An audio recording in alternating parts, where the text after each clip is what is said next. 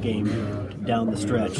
How much will this help you? Uh, it's going to help us tremendously. I mean, this is just how the tournament's going to be. There's going to be days where you know you're down set and see what you can do, and um, you know everything counts. I just think it's a really good learning experience for us. It was a great learning experience for me.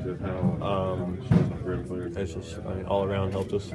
What about Isaiah in the second half? It seemed like Yeah. he was a guy that was involved in every big play for you guys. Yeah, I mean, came with rebounds. He was getting into the lane, got some passes. I mean, he just he played really good. Um, he just did his thing, played more intense. That's that's why I think the intensity got up second half, and that just where we just kind of broke away from a little bit.